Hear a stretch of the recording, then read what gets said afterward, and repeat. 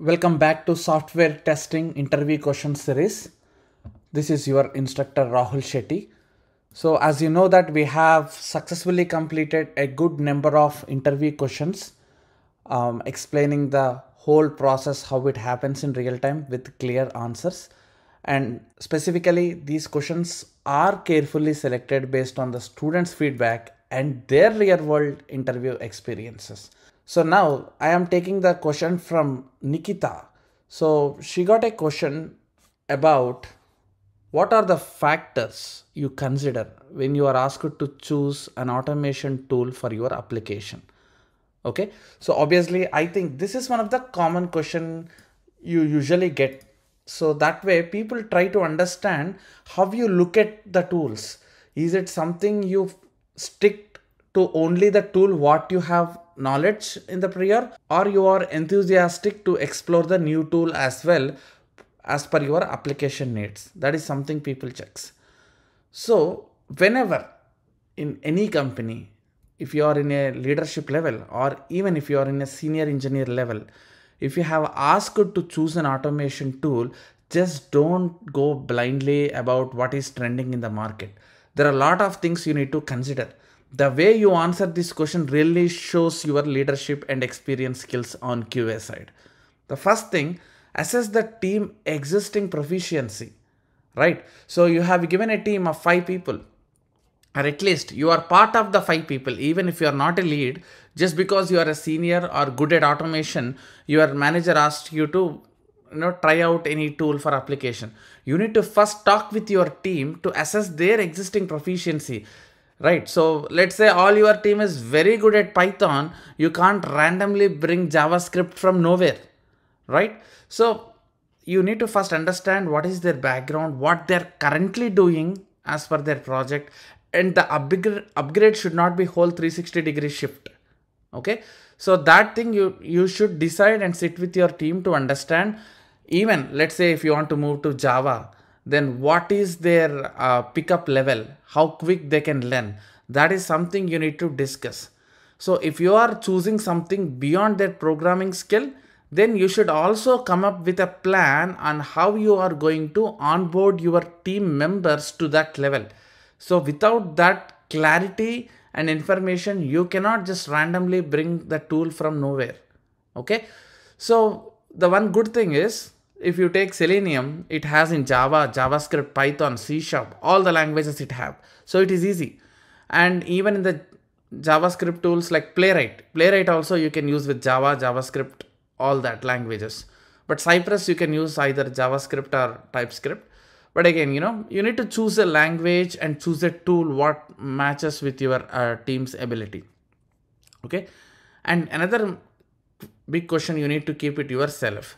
You know these days it's just not about ui testing right? You need to do api testing ui testing if possible integration testing. It's all part of a qs effort. So do we need a common framework?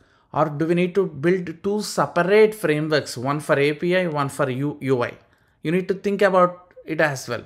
So there are pros and cons for both the approaches like having one common framework for ui and api and having separate repos that I would address in another uh, video.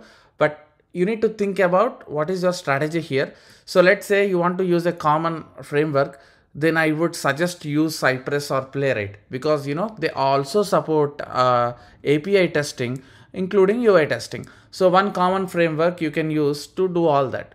So if you are not bothered about it, then for API you can nicely go to some rest assured Java or Karate, you know, there are different frameworks we have. Separately you can focus. And ui it's up to you. You can use cypress or selenium playwright. It's your wish. If you don't want to merge them both can use different languages. Api you can use java. Ui you can use javascript.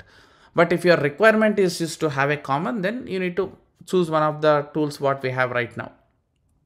Okay? And it's just not about framework and tool right sorry tool and the language you should think about framework as well, right? There are different frameworks like Cucumber, TestNG, JUnit, Mocha, Chai. And if you go to Python, there is something called PyTest framework. So what framework you want to choose? So that you cannot randomly take one decision and build everything. So the systematic way the way how you need to explain in an interview is you need to involve people. That is what they want to know instead of you taking the solo decision.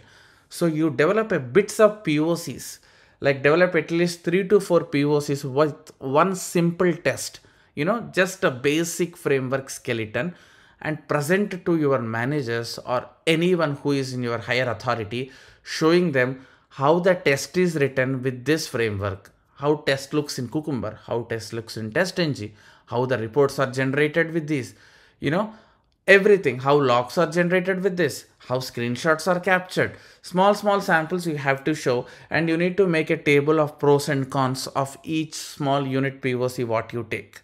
Okay, so all these you need to consider and show them and take a sign off, take the collective feedback from everyone in that meeting. You note it down and then you give a final presentation based on people uh, feedback. So that is how systematically you have to approach and decide choosing automation tool. So that way, if something goes wrong in the future also, you will not be the only person who takes the responsibility because you have presented everything, shown it, taken a feedback, and in the beginning itself on programming language, you spoke with your team on their caliber level. That means you are involving people, but you are taking giving them options and choosing the decision, right? So that's how you should approach when you are asked to choose an automation tool for application. You have to consider factors, not just a factor of tool. It's a factor of how you involve with your teammates. Okay. So with that all decision, you need to choose programming language, common framework or not. If so, which framework? These are the factors you decide and start with your um, development. But I saw many people answering this question in very wrong and foolish way. Um, I heard few answers like I'll go with uh, Playwright or Cypress because it is a fast than Selenium. That's so blunder.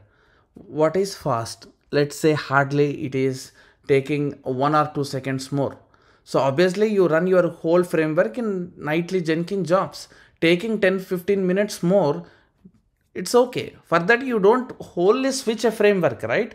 So people will just tell um, xyz tool is the latest and trending or this is so uh, optimized or it is perfect. Don't use those words. You should talk about realistic reasons why you are choosing this fast good reporting. Good reporting is also trash because you can make reporting for any tool because you have a programming language in hand Selenium with Java, let's take. It's open source. You can have hell lot of utilities to develop awesome reporting. Even you can use Selenium Python and use Python library to develop nice reporting. You can use C Sharp. So in every programming language, as they are open source, you can create utility in the way you want for reporting. And some people say logs are good. No, logs also can be reported. So these are answers which tell you that you exactly don't know how things work. So instead of talking about that is fast, that is reporting is good, this is latest, this is used commonly, don't use those terminologies. That will have a negative effect on your application. Instead, talk the way how I spoke now about, you know, what are the pain points you will address from the business perspective, from team perspective and company perspective, like team proficiency, frameworks, taking feedbacks. That is important. Alright guys, so that's about the factors and in the next lecture, let's see some more exciting interview questions. Thank you.